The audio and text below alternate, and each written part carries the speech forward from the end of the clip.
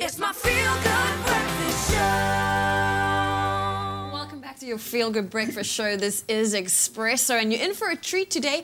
But you know, it's been a busy week here on Expresso with lots of incredible guests, interesting discussions, delicious recipes, and unforgettable moments, and lots and lots of fun. But it's now that time of the morning for us to play Expresso Rewind. It's a game where we want to see how much our presenters can remember from this week's show. Now, we'll also have a question for you at home, so make sure you stay tuned for that. Are you guys ready? No, are ready. of my super How coffee. can you not be here. I've established that I officially suck in this game. So you, we'll see, we'll see, we'll see. You'll, you'll be let's the see. judge of that. So, first question is, when is Johannesburg's major infrastructure upgrade set to be completed? I don't It's, know. it's um 2026.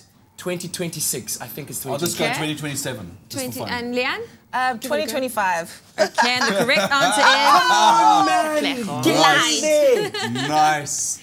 Cool. So, second one is, according to Dr. Darren Green, do you need more or less sleep as you get I was older? first. I think you need more. Less. Leslie. Okay. Okay, who said more? She said Just more. Leanne. Yes. And the answer is... Oh, Leslie. he would know. Yeah. Don't need. I don't need a lot of sleep. Okay, okay. How many years was Pasella presenter Heino Schmidt on Ooh, ooh, ooh, I was 7de Laan? first. You, you did the last one. 11 years. years. 11 years, both of you? Kat, can't give a 11 years, I know that Are you just sure. jumping on the No, bandwagon? no, no, I know that for sure. Mm -hmm. 11 years. Thank well you. done, well I think done, it's well one done. all. Yeah. Next question. What is the name of Kim Engelbrecht's new Ooh, film? ooh, ooh. Both of you would Eye say of the this. This guy. Okay, I don't think Kat Were knew the the answer. week? Eye I of Sky interviewed her, so I know this, but I could.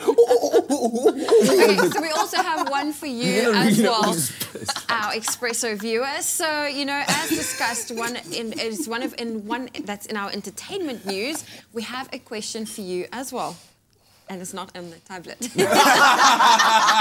question is, which Afrikaans singer welcomed a new baby girl this week? Let us know you, if you know you think what the answer is by tweeting us or visiting our Expresso Facebook page and use that hashtag Expresso Show.